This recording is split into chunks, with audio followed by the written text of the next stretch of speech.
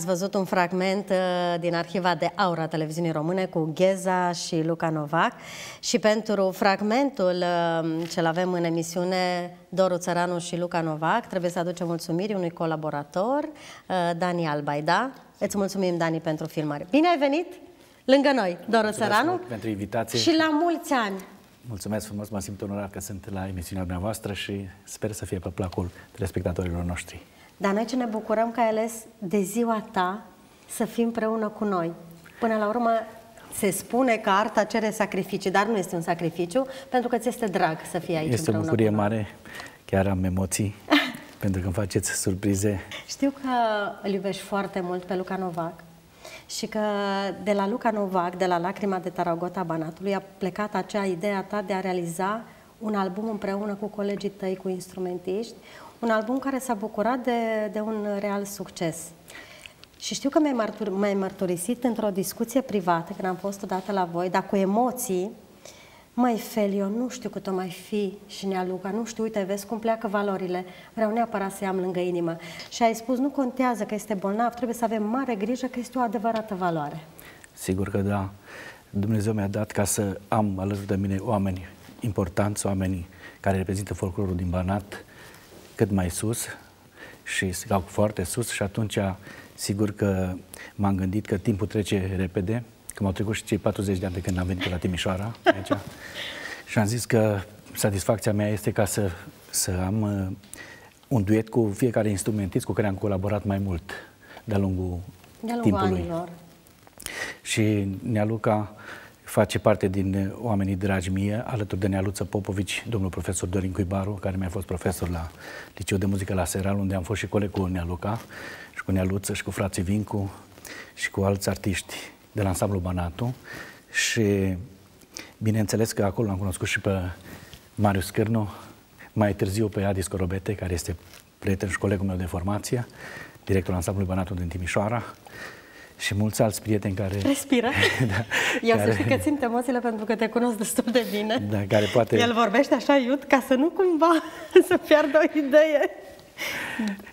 Deci mulți alți prieteni care de data asta n-am reușit să-i aduc la emisiune, că emisiunea e doar de o oră. Așa este. Avem, o să avem un moment, dragii noștri, acum uh, duete.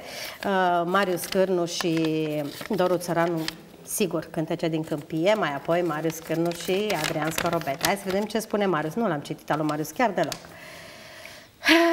40 de ani trecuți.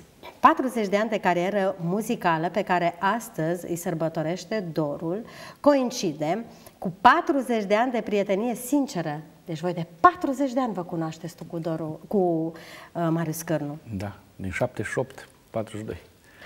Practic ne-am cunoscut în anii 80 elevi fiind de la Liceul de Muzică Ion Vidu din Timișoara, amândoi încercând pe atunci să descifrăm tainele folclorului bănățean. De atunci și până în prezent, drumurile pe tărâmul muzicii ne-au purtat alături în numeroase colaborări pe care le-am avut atât în țară cât și în străinătate.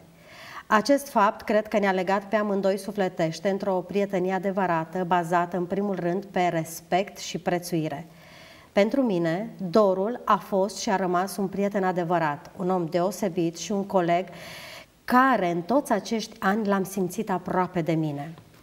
Un lucru pe care îl apreciez foarte mult la Doru este acela că în toți acești ani care au trecut, a reușit prin tenacitate și perseverență să scrie o pagină importantă în muzica populară din Banat, nu doar ca instrumentist, dar și ca un foarte bun manager – acest lucru fiind confirmat de sute și sute de înregistrări și filmări pe care le-a realizat în studioul de care se ocupă cu majoritatea soliștilor vocali și instrumentiști din Banat și nu numai, ne spune Marius Cărnu. Vreau să-l felicit din tot sufletul pentru tot ceea ce a realizat atât pe plan profesional cât și familial și să-l asigur de toată prețuirea mea. Cu tot dragul meu, mereu alături în tot ceea ce vei face în viitor la mulți ani, dragă Doru! Îi mulțumesc mult, aceleași respecte l-am și eu.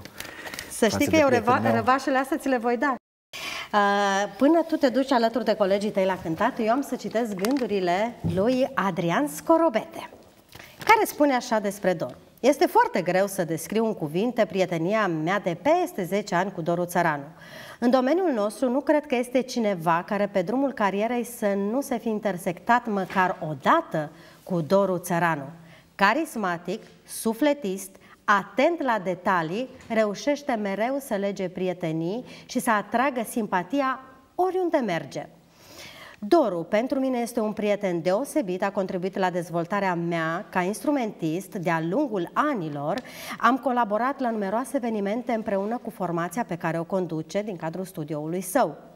În continuare, pot să vă spun așa că Doru Țăranul, la cei peste 40 de ani de carieră, poate să inspire și să influențeze destinele multor soliști vocali și instrumentiști. Cu tot sufletul, la mulți ani, prietene, semnează Adiscorovete. Și acum, că vorba lungă e sărăcia omului, să lăsăm pe acești minunați instrumentiști, Doru Țăranu, Marius Cârnu și Adrian Scorobete să intre în casele dumneavoastră cu cântări și de la pustă și de la munce.